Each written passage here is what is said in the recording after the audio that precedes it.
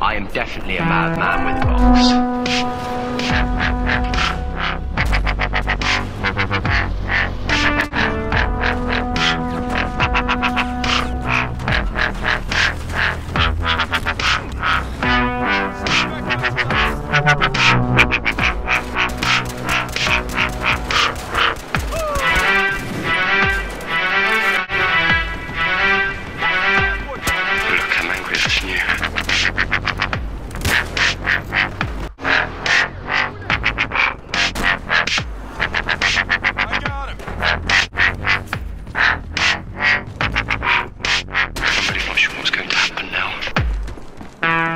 I want you to run away.